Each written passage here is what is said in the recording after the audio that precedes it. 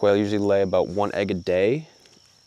So this one I would say has been going for eight days so far. Hi, my name is Jordan Baron. I'm a graduate student through Mississippi State University doing a joint collaboration here at the Jones Center. Today we're going to be starting off with some nest checks. We've got about 11 birds sitting on a nest right now, so we'll use the Omni on the top of the truck just to kind of go around and get some locations.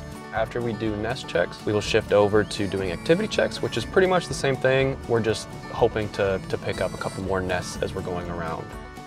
My project focuses on the non-breeding season resource selection of northern bobwhite coveys, specifically in relation to supplemental feeding practice. We know that they love supplemental feeding, but we don't know how weather or days since feeding or a couple other different biotic and abiotic factors influences that use. So we're trying to get at that question of how much they use it through time via very intensive telemetry. Most studies in the winter, they focus on three to four locations per covey per week. I'm getting that a day for six days a week. So the idea is that we're going to be able to hopefully, if there is a change, pick up on some more fine scale information that we may have been missing in the past. So what we do when we actually have a suspected nest is we'll kind of get about two to three meters away. The bird will be sitting on the nest. She's not going to flush or anything like that.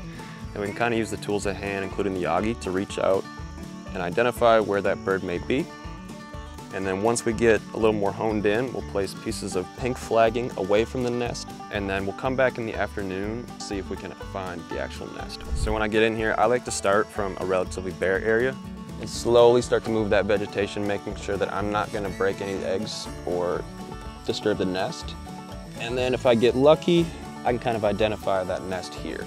It's a very intricate design of a nest woven with pine needles or grasses or anything like that where there's an overhead cover and then it's like a whole nest bowl underneath. And if she's incubating, we caught her off today, she'll be back um, and she will finish the job here for an about another 23 days until these chicks hatch.